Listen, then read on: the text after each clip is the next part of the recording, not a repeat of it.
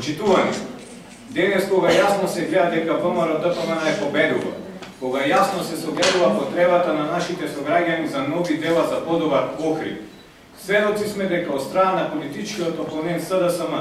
повеќе немаат кредибилитет да зборуваат за Охрид, бидејќи истите се тие кои го уништија нашиот град. На вчерашниот митинг кој го одржа СДСМ во Охрид, малобројните присутни граѓани, меѓу кои злоупотребени малолетни ученици кои го понесува својот школски прибор, не само што се гледаат дека константно се залажувани со празни зборови и ветувања, туку им го согледа и нивното лицемерно и грдо управување со локалната самоуправа во изминативе години. Уништената гордост на градот, неуредените улици, хаосот со паркинзите, бизнисите со зградите, уништувањето на зелените појаси, па туризам, Сето ова е всушност грдото лице на Охри создадено од Петрески и СДСМ, кога се обидуваа да прават протести на кои мултиплицира реална бројност, зборуваа за бројки, кога видоа што е митинг на ВМРО ТПМН, зборуваат за градови.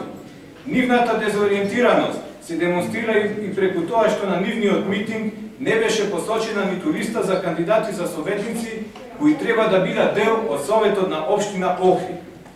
Дали причината што немаше листа е големото незадоволство во СДСМ од коалицијата со Народна, ЛДП и НСДП и што во првите седум места има само едно место за членовите на СДСМ. Дали причина е што местните организации на СДСМ не се консултирани за листата и листата е правена во координација само со централата во Скопје.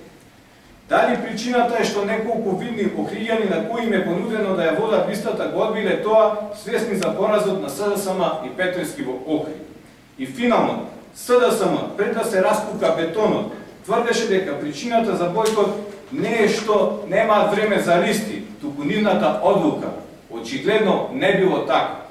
Јасно е дека со ваквиот начин на појавување пред јавноста, Драко Црвенковски, неговиот пулен Александар Петрески, заедно со неговиот долгогодишен губитнички тим,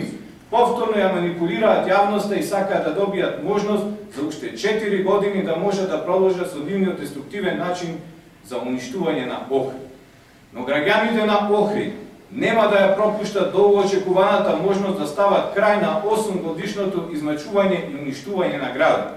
Граѓаните на Охрид на 24 март ќе покажат и докажат дека се задела и дека преку тие дела спроведени од страна на ВМРО ДПМН